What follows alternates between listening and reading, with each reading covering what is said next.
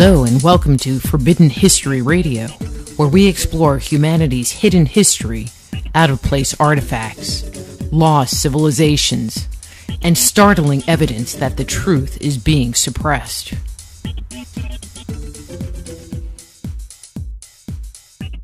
So, in this hour, we're going to be changing gears and talking about the secret prehistory of America. And to do that, we'll be talking with Frank Joseph another guest of our show earlier, but let me tell you a little bit about Frank and we'll get him on.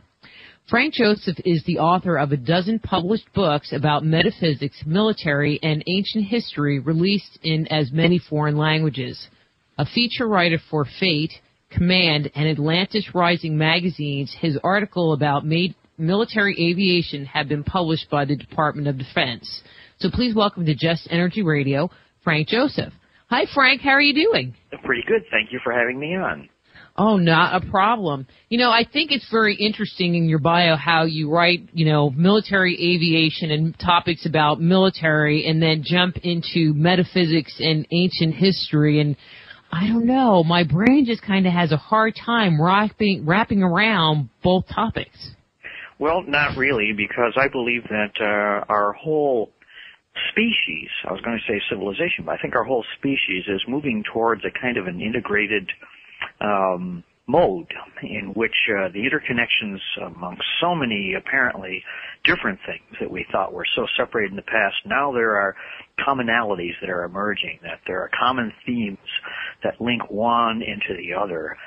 And as far as writing about the military, I can uh, tell you that uh, that has a, a very strong bearing on what happened in America during prehistory because there were civilizations that got to the point they had begun quite well, but they got to the point where they were so uh, consumed with self-gratification, with uh, self-indulgence, that they uh, would do anything to uh, keep those endorphins up.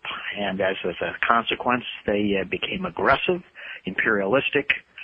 Uh, they made war on their neighbors and uh, in the long run, they destroyed themselves.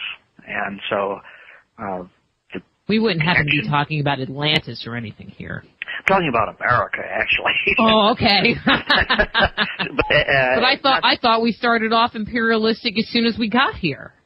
No, no, it, it does. Uh, we're headed in that direction now. But and I'm not really talking about America. I'm being rather facetious. I'm talking about trends that are dangerous in our country, and that really uh, even the difference between Atlantis and America begin to to merge because it's part of the human condition.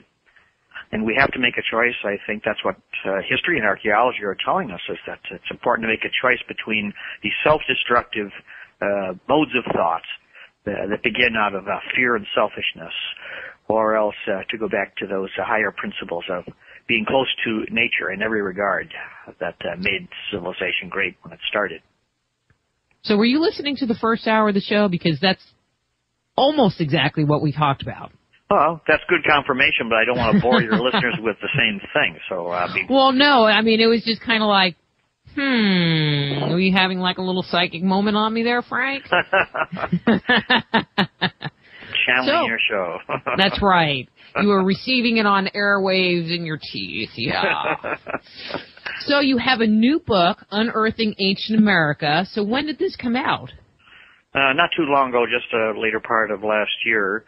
It's uh, a collection of what I think are the very best articles that have appeared in our magazine, Ancient American, over the past uh, 18 years or so. And it was my privilege to uh, collect these uh, really outstanding articles and put them into a format that's uh, accessible and easy for people to read like myself who are not professional uh, archaeologists, uh, but we're interested in, of course, the where we came from and who we are, what happened on our continent before we got started, and are these energies that were unloosed long ago still working with us? All those are questions that are uh, addressed in Unearthing Ancient America and it, covers a, a very wide spectrum. And there's very little theory in this book.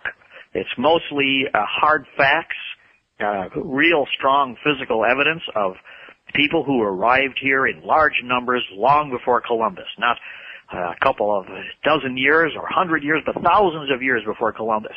The people swarmed from various parts of the world, from the uh, from West Africa, from North Africa, from uh, Western Europe, from Asia, and made a tremendous, dramatic impact on the prehistory of our continents.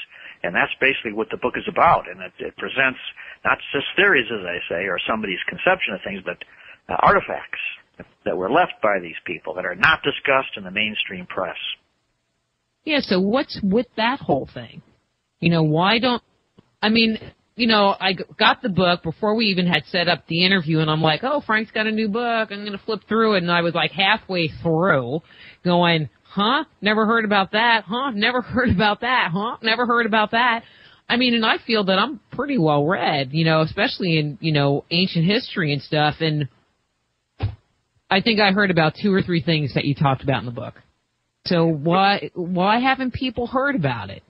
It's not surprising. Uh, there are a great many people who are quite well read and are familiar with, uh, they think, with the history and archaeology to some extent, but their sources of information have been through uh, mainstream uh, press and the reason why we do not hear about these things is because, believe it or not, there still are claims out on American territory from other parts of the world.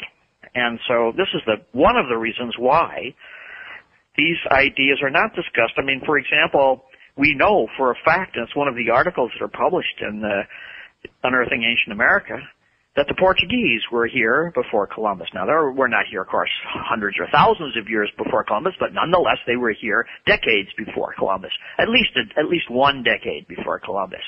In other words, sometime in the 15th century, uh, they were, they were here. And what would that do to our relations with Portugal? There are places where Christopher Columbus is regarded as a saint if you go to Brazil, for example, Christopher Columbus is uh, just about uh, popularly canonized.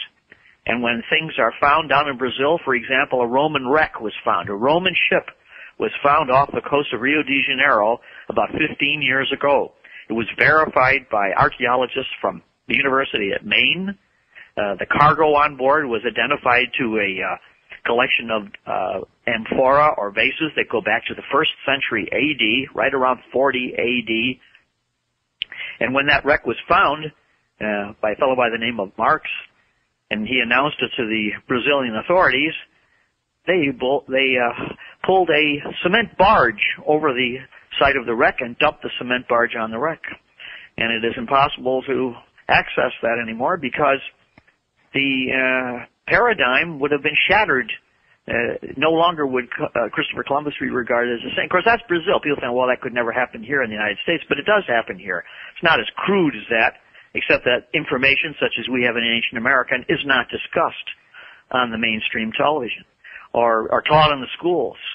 And part of the reason is there are outstanding claims on territories in the United States which could theoretically uh, be revived. That's one reason why. The other reason is, is that when you go to school to become an archaeologist, you are told to support the research of of your fellows.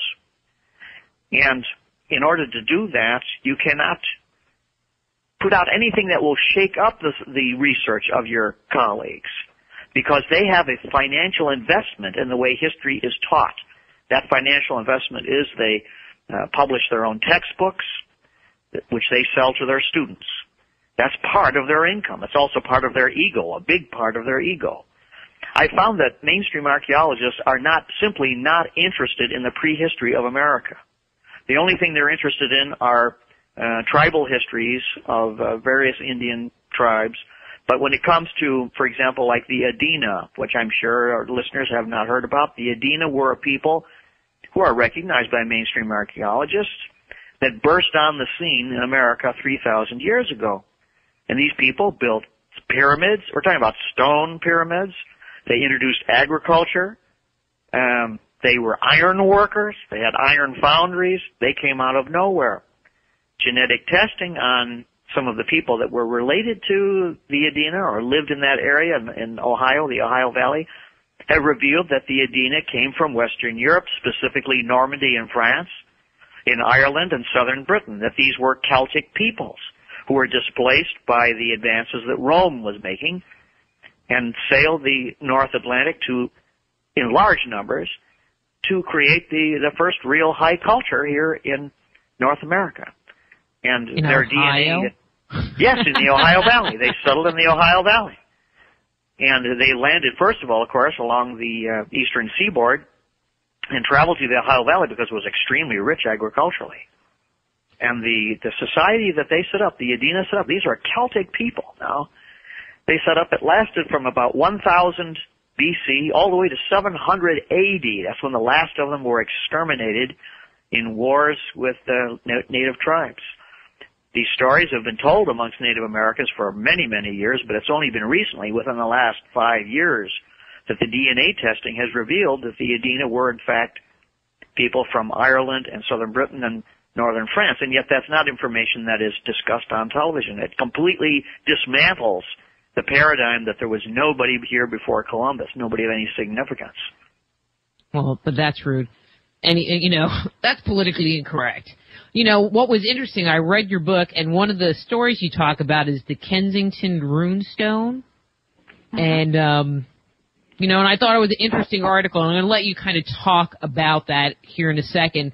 And when they talked about it, they were like, "Oh, well, this guy found it in his backyard, ha ha, supposedly, but it was determined determined to be a fake." The Kensington runestone uh, was found uh, by a Swedish immigrant farmer in the middle of Minnesota while he was clearing his land. And as he was pulling up a, a tree, uh, getting a dead tree to get it out of the way of his plow, he found that the roots of the tree were entwined around a large granite boulder.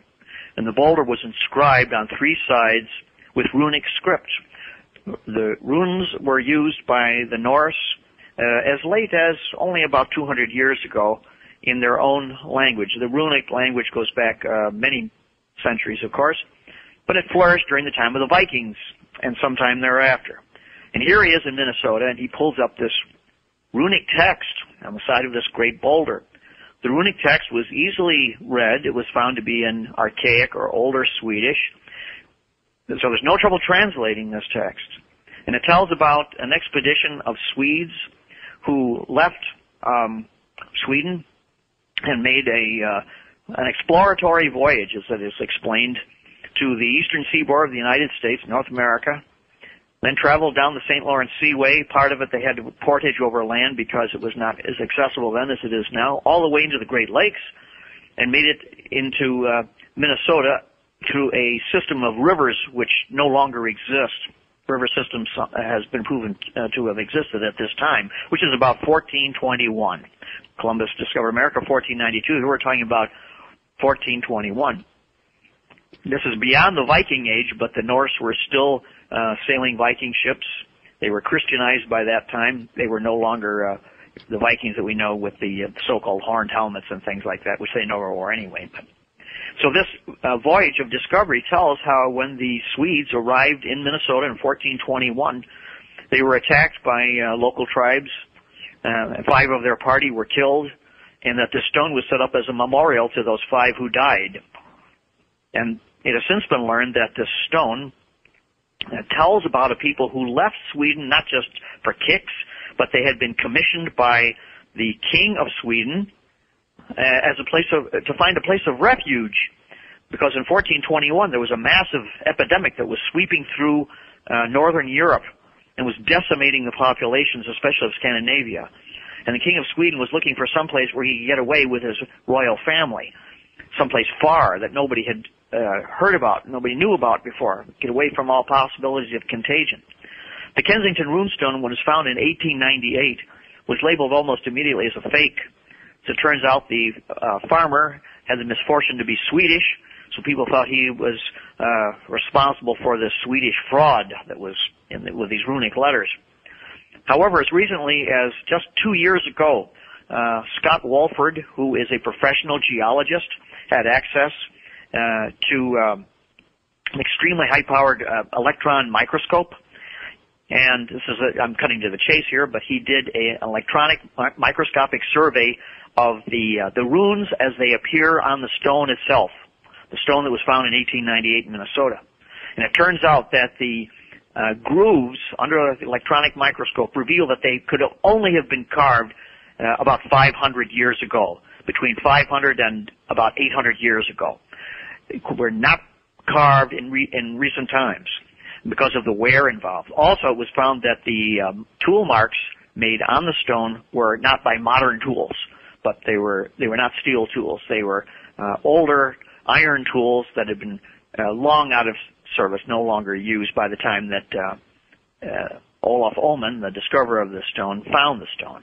So the Kensington runestone has been absolutely verified through scientific analysis to be an authentic piece of physical evidence that shows that there were people from northern Europe who had made a voyage of discovery and had penetrated as far as Minnesota in 1421.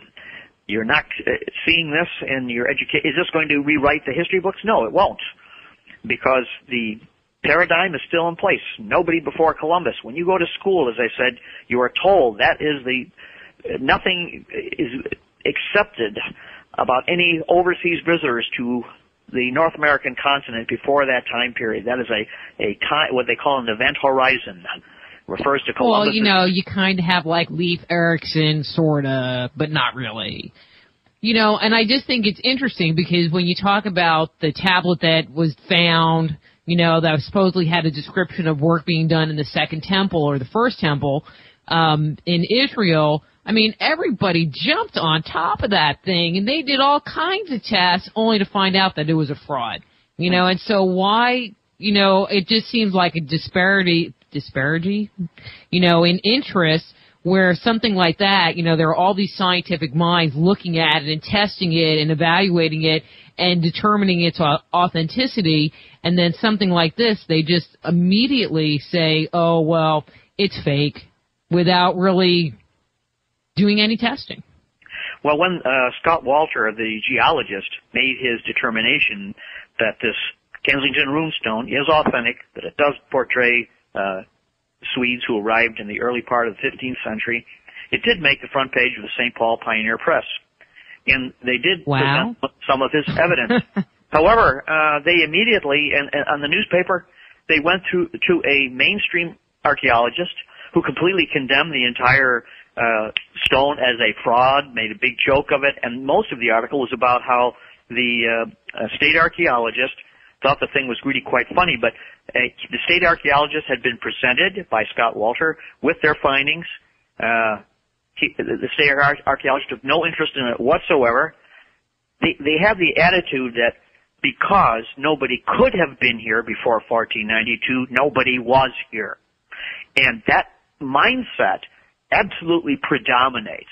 And you're, it's impossible to convince these people. The only way that there's going to be this new history that we're talking about and that the book is all about will really be accepted is when this present generation of um, academics has passed away. There are some archaeologists now, younger ones, as it turns out, in uh, in their 30s and 40s, who are taking a serious look at this information now and are are not condemning it uh, in, in, as a complete uh, fraud. Uh, we've had, as uh, shockingly, uh, not this issue of Ancient American, but the one just before it, the last issue of 2008. We were contacted by the archaeological department at um, at the Field Museum in Chicago, which is a major archaeological institution, and they were uh, very sympathetic. They helped us out with a lot of great new finds that they showed us. Uh, they gave us fabulous photographs, which we were able to put in our magazine for free, uh, just to get out their uh, information. And they had no trouble associating with our magazine. Before, when Ancient American first came out in 1993, oh, the archaeologists regarded it as, uh, well, I think somebody once said a scientific pornography uh, mm. something not to be examined, uh, you know. So, but it's kind of funny that they chose that word because I, I knew for a fact years afterwards that there were many archaeologists who were reading our magazine in secret. So it'd be just like, uh, you know, going some, and getting an Inquirer. right, some some wicked little little kid, you know, going in the closet reading a Playboy magazine or something. It's on that same level. but uh, there are uh, there is definitely a change, a shift going on, and uh, I think that our book, Unearthing Ancient America, has got to get a lot of these uh, skeptics uh, thinking, at least halfway of an open mind anyway.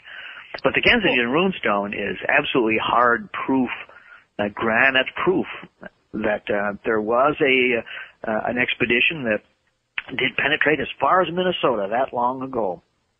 Well, and there, you know, it would be one thing if it was one thing, you know, just that one stone. But I mean, the book is just filled with story after story after story after story of different things. And, you know, all they would need to do is investigate one or two, you know, like one of my personal favorites, which I just kind of shook my head at, was the underground city of the Grand Canyon. Oh, yeah. You know, that is a so you know, and I just, and so if you could talk a little bit about that whole find, because I was just like, what underground city of the Grand Canyon? And, you know, people have gone there and it's not in any of the tour maps. No, uh, and the reason why it's not on the tour maps is because it's in a very dangerous area of the Grand Canyon. Um, the story was that uh, somebody had found an underground city in the Grand Canyon and that this guy had been associated with the Smithsonian Institution of all, all groups, and um, so this was pretty interesting, and that's about all we knew sometime in the early 20th century. So we telephoned the Smithsonian Institution and said, what about this story? I said, oh, we get calls every once in a while from people say that supposedly this Egyptian city was found in the um, Grand Canyon, but it was, it's all a hoax. It's, you know, we don't know anything about it whatsoever. So we did some research into this story and we found that there was a fellow by the name of G.E. Kincaid who was a photographer, a professional photographer for the Smithsonian and had been in fact hired by the Smithsonian in the year 1908 to make the first photographic record of the Grand Canyon. Uh, he had already been hired by the by the Smithsonian for other projects. he was Kincaid was of the level of Ansel Adams. He was one of these great nature photographers. And in late 1908, Kincaid by himself set out in a boat down the Colorado River to photograph the Grand Canyon. He only he was only the second human being to have ever been through the northern part of the Grand Canyon. Not even the Native Americans would go there because they regarded this area of the Grand Canyon as cursed. And one reason why is because it's extremely dangerous. It's a very treacherous area, and it's forbidden for people to go into this day because it's very hard to rescue people. You cannot get a permit to go in there. So Kincaid is going down the river making his photographs when he sees, to his amazement, up the side of a, of a mountain, of a, a mountainous area, actually, a cliff, uh, a set of uh, what appear to be uh, steps a grand staircase carved on the side of this mountain. So he docks his boat and he pulls up and uh, walks up the side of this mountain and in fact finds that here is a grand flight of steps, stone steps. What's amazing, of course, about this is that so far as is known, no one had ever been there. And he was the, like I said, only the second person known to have gone through the Grand Canyon. First photographer. So he, he climbs the steps. The steps lead up to the side of a uh, the mountain, which opens up into a cave, a cavern actually, a large cavernous mouth. And uh, he enters the cavern. He brings along with him uh, his uh, uh, facilities, his lights, and so forth. And he makes a tremendous discovery. Okay, let's save the discovery till after the break. Before we went to break, we were talking about the uh, underground cave in the Grand Canyon and you were just getting to the part where you were talking about what he found when he went into the cave. Kincaid uh, stepped up to the mouth of the cave and with his lantern he entered and he found uh, what he recognized immediately as not just a cave but as a man-made corridor. Uh, the lines of this uh, subterranean excavation were dead straight and he found a, a network, a honeycomb of corridors that led in various directions. the cave uh, enclosed, uh, a, like I said, a kind of a network. The uh, corridors led to various chambers, all of them quite large. The largest chamber was more than a chamber; it was an absolute room. He compared it to a kind of a cafeteria in which there were stone benches and what looked like uh, eating utensils. Uh, next to the uh, large cafeteria was a, what appeared to be a dormitory. The most remarkable structure that he found, though, was and also a very large room, a chamber, very high, domed. All this is now cut inside the, the mountainside. And in this one circular room that he found, there was at the center a circular altar. And around the base of the altar were, as he described it, about a dozen or so figurines, uh, carved statuettes that resembled uh, little demonic dancing uh, creatures. On top of the uh, circular altar, the dais, was uh, a larger than life size representation of an anthropomorphic figure that kind of resembled a, uh, a dwarf perhaps or uh, some kind of a, a human being with its tongue extended. He said that it looked like something from either Egypt or India. Uh, Kincaid was an excellent photographer, but he didn't know anything about uh, archaeology. He was not trained as a, a cultural anthropologist or anything like that. He made photographs of everything, and um, he took nothing. He did have enough sense for that. He disturbed absolutely nothing. He found also uh, there were large piles of bronze weapons, edged weapons, uh, lances, spears, shields, um, everything stacked very neatly, just left there. So the entire place uh, looked like it was extremely old. Kincaid uh, left this um, site, continued on his assignment, uh, finished his uh, photographic journey, and when he was met by reporters from uh, the Arizona Gazette, which was a major newspaper, is still still today a major newspaper, he told uh, what he had found. It made front page coverage of the Arizona Gazette and a number of other newspapers. Uh, the source for this information I'm giving you is primarily from the Arizona Gazette. Um, some people have said, well, it was just like uh, perhaps it was like a, an April Fool's joke or something like that, but that's not true because after the lead article came out, the front page article on Kincaid's finding of this underground city, uh, there were subsequent articles in the same newspaper which told what happened afterwards.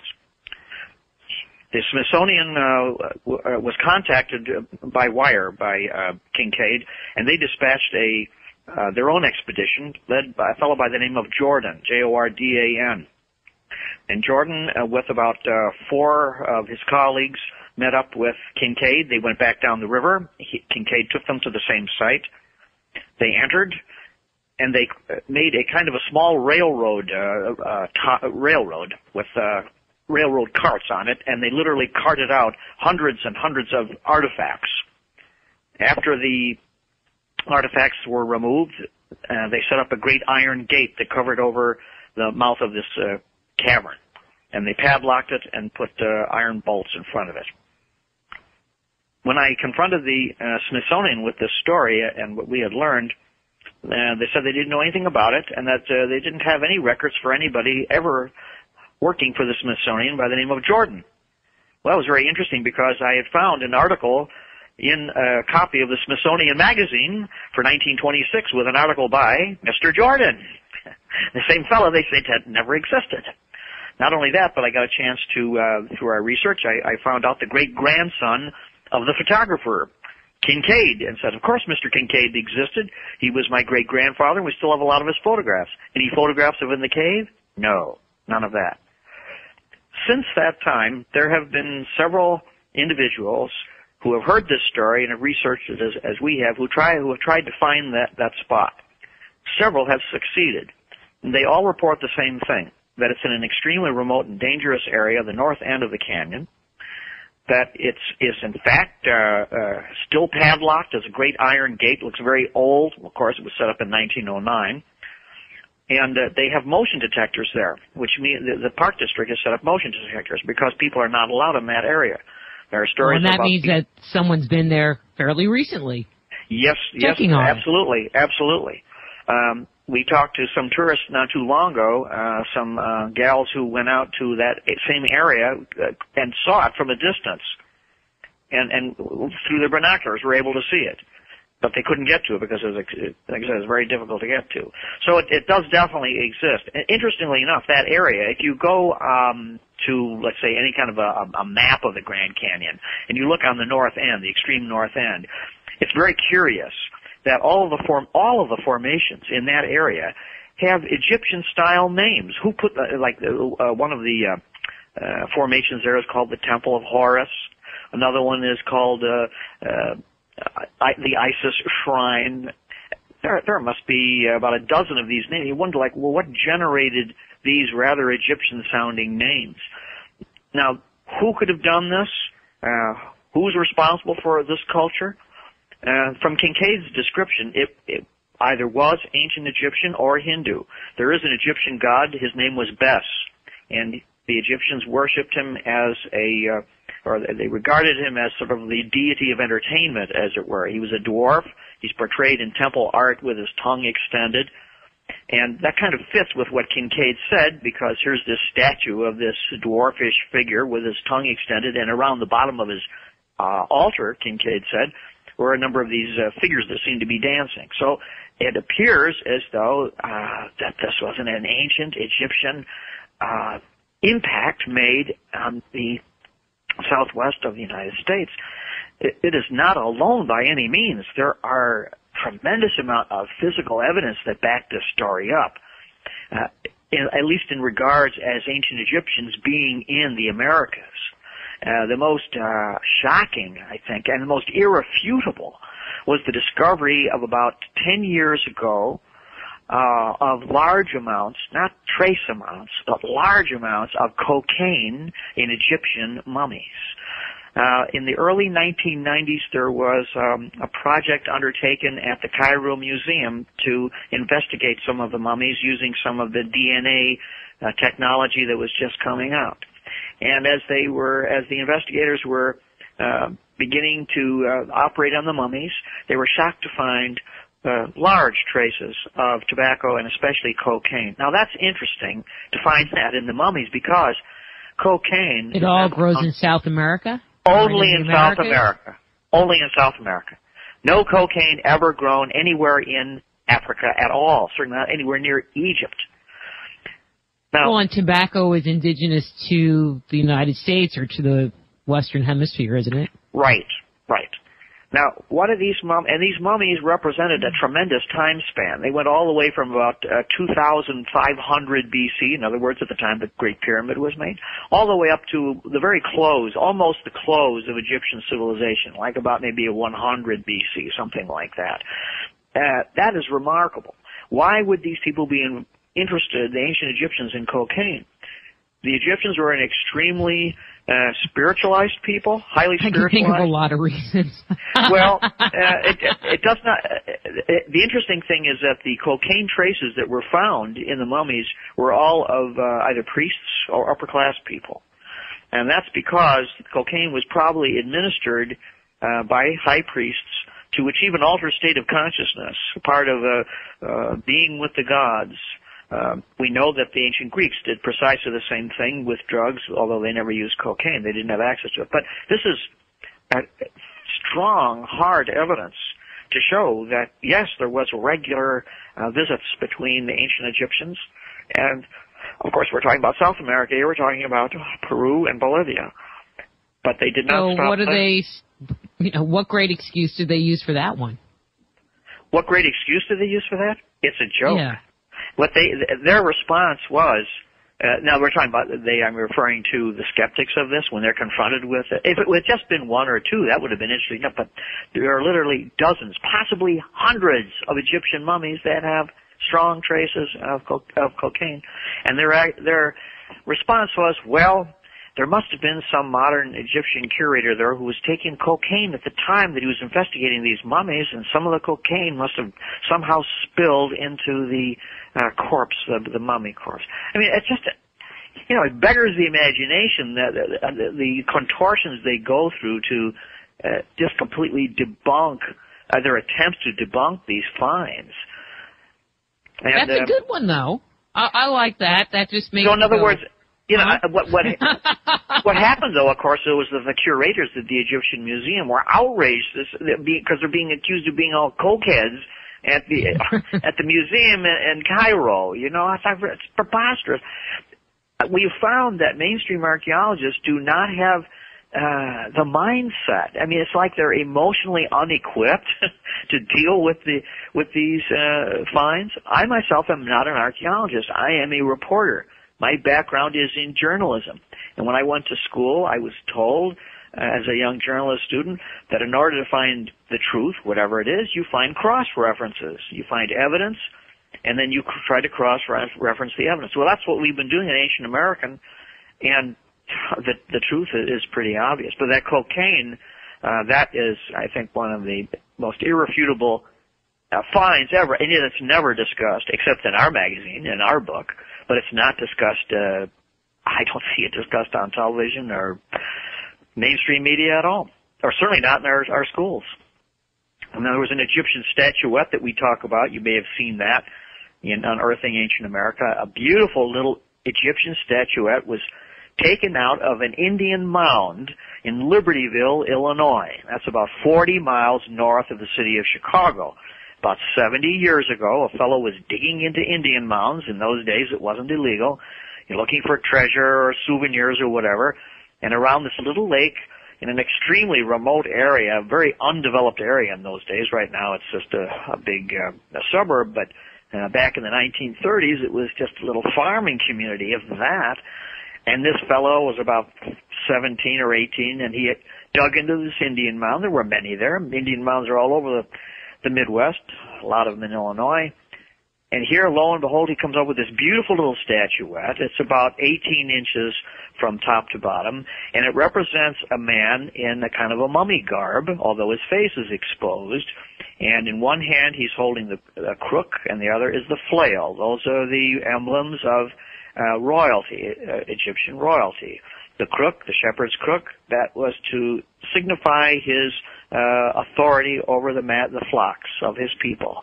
And the flail was to show the, his ability to inflict uh, judgment, the power to do that. This little uh, statuette, when we researched it, we found that it is known as an Ushabti. It's an ancient Egyptian word for a, uh, a grave good that was interred with the this person who died. It was believed that the Ushabti contained the spirit of a helper, of an assistant, so that when the person, uh, the spirit of the person was entombed, the the little Ushabti, the little statue, would come alive and help the deceased uh, with all of their uh, problems on the on the other side, as it were, in the next world. We also so was there any um, hieroglyphics or any kind of, you know, other than the form of it, was there any other identifiers that would show that it was Egyptian? Yes, as a matter of fact, there there is a little, a brief little text, and it fits perfectly with what I've been describing, because the little text that's on the Ushabti is a, a kind of a magic formula from what is known as the Book of the Dead.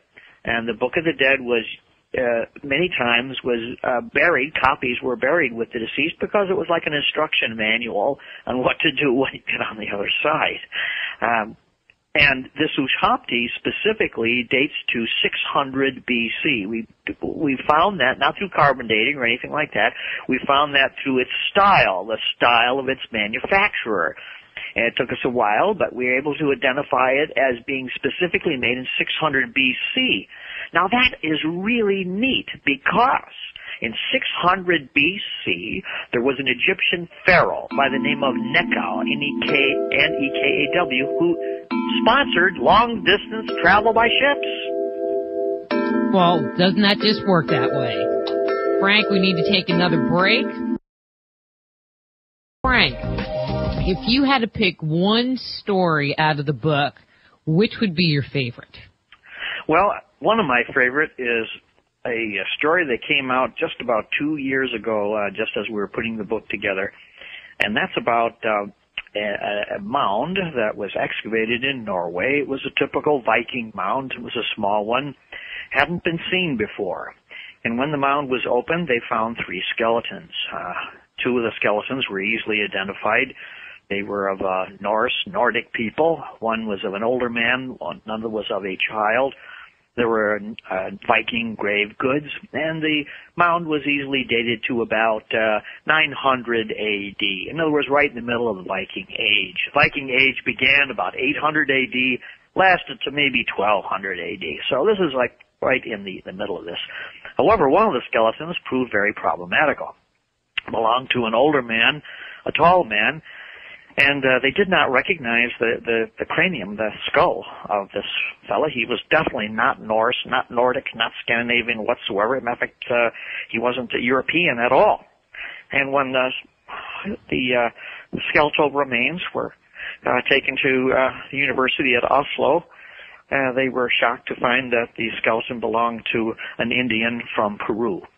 And they, the bones belong to obviously somebody who was part of the uh, pre-Inca culture, who had been taken from, uh, taken or, or we don't know the story, volunteered, whatever, uh, there's no indication that he was um, maltreated in any way. It looked as though he had been well fed, and he was put in a mound, which was an honorable way to be interred. So it looks as though he was a friend that the Vikings had made when they were down in Peru, 900 AD. How else did this skeleton get into this pristine mound? This is, a, I think, another example of. Uh, physical uh, proof, not just evidence, but proof that there was contact between uh, the Vikings of uh, Scandinavia all the way down to uh, South America. And we're talking about, again, Peru and, and uh, Bolivia. Okay, what so what did they say? How did he get there this time? Uh, there, 747? I mean, you know, they put him in there after. Uh, you no, know. no. When uh, we have found that when uh, archaeologists are presented with uh, incontrovertible evidence such as this, uh, they they just ignore it. It's not discussed. It's not brought up. Uh, if you collar them and you bring this information to them, they just shrug, and it's not important to them. It's it. They have, as I say, this mindset, this paradigm that there simply wasn't anything before Columbus, and they'll say, "Oh, there must be some explanation for it." Well, okay, but I, Columbus. If it was in Norway, how did this Indian person end up there? Obviously, the only way he ended up in a grave which is 1,100 years old is because he had been taken from South America on board a Viking ship. There's, there's no other uh, possible explanation for this. There's no intrusion in the burial. Besides, who would be so foolish as to dig up an old mound that nobody had ever seen before and put these bones from an Indian in there? I mean, it's not like there's some cultural diffusionist out there trying to make the isolationists look bad, you know. Um, but what I like this particular uh, story, not only because it's uh, incontrovertible, but because it also shows um, a, a reverse. We're not finding now only just uh, people from the ancient old world in America. We're actually finding uh, people from uh, prehistoric times in America in Europe. So this means that there was definite commerce going on, relationships going on, and as I say, the Indian had been buried honorably in this grave. To be put into a mound in those days was not for common people. The common people were cremated or put in, in uh, very simple uh, graves. A mound was a place of great honor and respect. So it shows that uh, it's not as though he was dra- dragged as a slave or some Hollywood scenario. He had the cocaine, Frank. Come yeah, on. maybe he had. We we don't know. We don't know that the Vikings were involved in that, but the Egyptians certainly were. But I really like that that little story, and it's something that like it was a small story um, that we found in the Norwegian Post uh, which is of course a news uh, newspaper from Norway. It was a big story over in uh, Norway, but uh, it didn't make it over here. Except uh, you had to get up on the web, and then we checked it out. We did follow up on it. It was absolutely true. We talked to the university. Yes, we have the bones, and this is definitely an Indian, and we can identify him as coming from. Matter of fact, they even identify him as coming from a certain area of Peru along the coast. How's that fit? I mean, it fits perfectly. There was a coastal Indian from South America the Vikings obviously befriended him and said, "Come on, let's go. Want to want to check out and see how life is back in the in Norway?" Well, sure. They took off. That's what happened. it's it's an amazing story, and it's not that unique. so though. cool. Yeah, yeah. I mean, here it's it's funny. Now that's the only evidence I, I'm familiar with where somebody from the ancient Americas has actually been found in in Europe. Mostly, it's of course the other way, but uh, who knows what what else is there to be found or what has been found that we just haven't heard about. Or destroyed. Uh, we know that the Smithsonian has been involved in the wholesale destruction of uh, uncomfortable evidence, such as we say.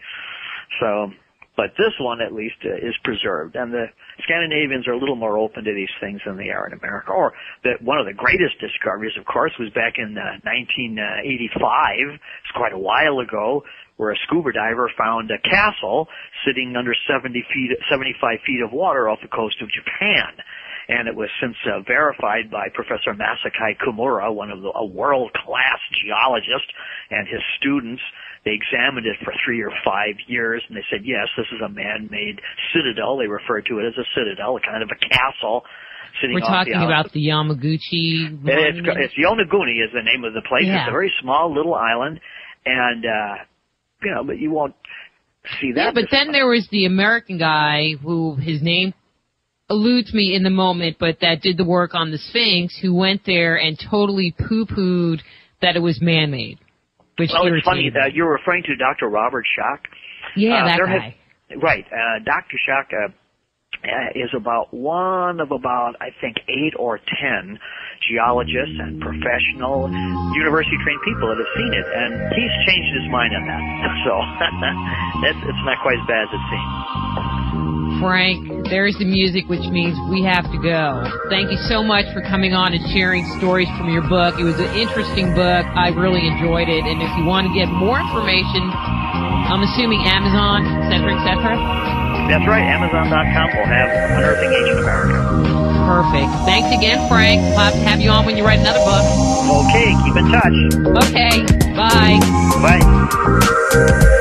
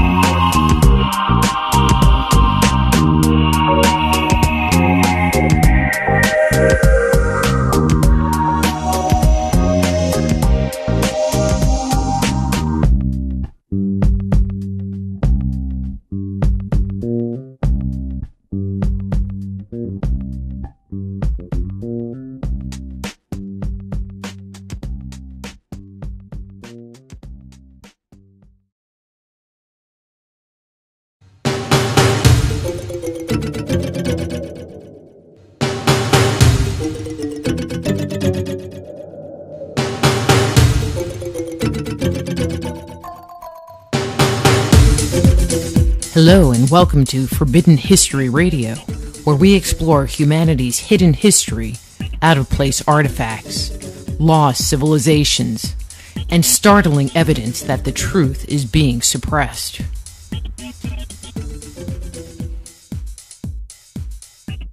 So, in this hour, we're going to be changing gears and talking about the secret prehistory of America. And to do that, we'll be talking with Frank Joseph, another guest of our show earlier. But let me tell you a little bit about Frank and we'll get him on.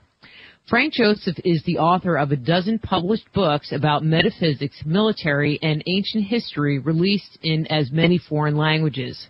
A feature writer for Fate, Command, and Atlantis Rising magazines, his article about made military aviation have been published by the Department of Defense.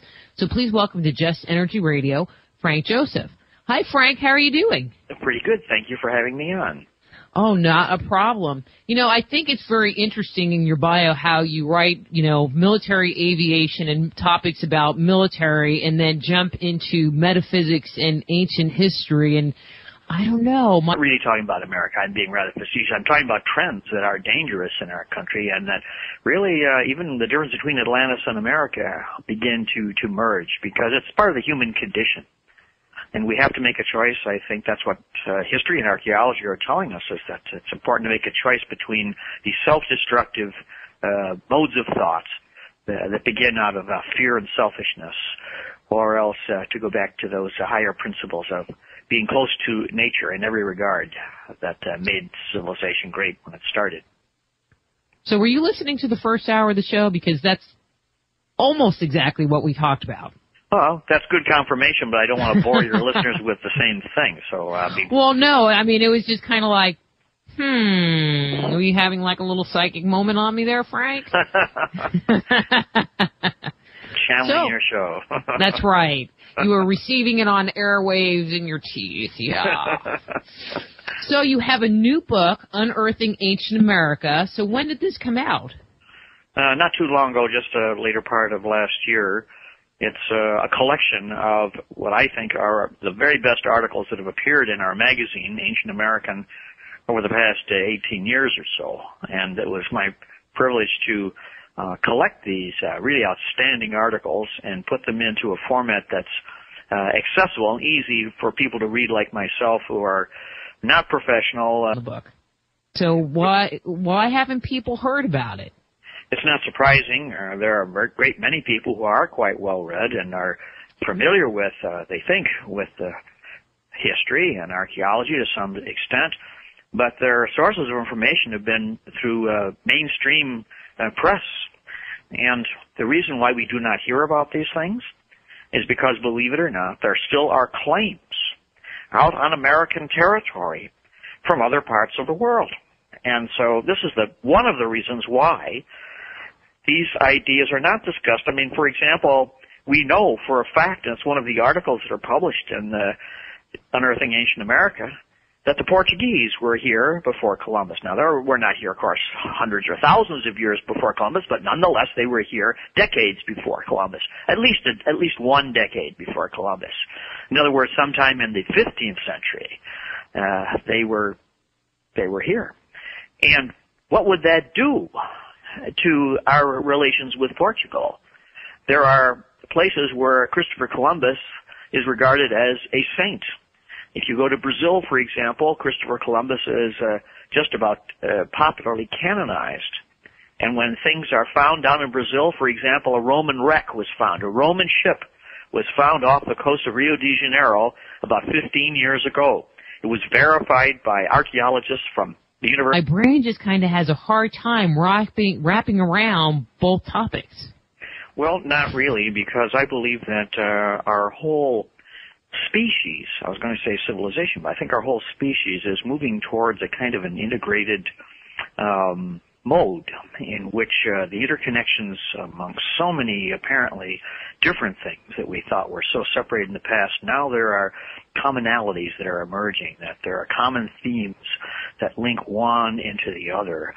And as far as writing about the military, I can uh, tell you that uh, that has a, a very strong bearing on what happened in America during prehistory, because there were civilizations that got to the point they had begun quite well, but they got to the point where they were so uh, consumed with self-gratification, with uh, self-indulgence, that they uh, would do anything to uh, keep those endorphins up.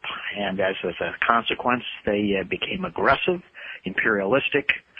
Uh, they made war on their neighbors, and uh, in the long run, they destroyed themselves.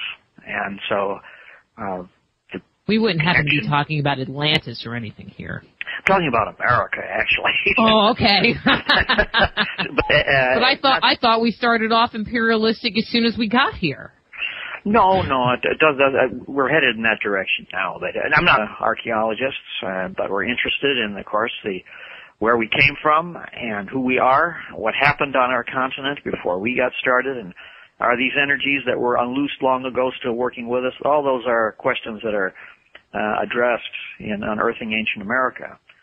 And it, it covers a, a very wide spectrum. And there's very little theory in this book. It's mostly uh, hard facts, uh, real strong physical evidence of people who arrived here in large numbers long before Columbus, not a couple of dozen years or hundred years, but thousands of years before Columbus.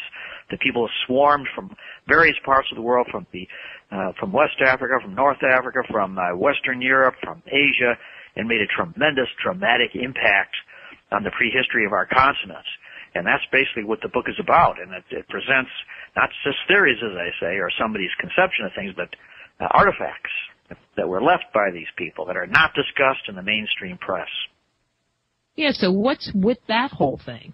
You know, why don't I mean, you know, I got the book before we even had set up the interview, and I'm like, oh, Frank's got a new book. I'm going to flip through it, and I was like halfway through, going, huh? Never heard about that, huh? Never heard about that, huh? Never heard about that.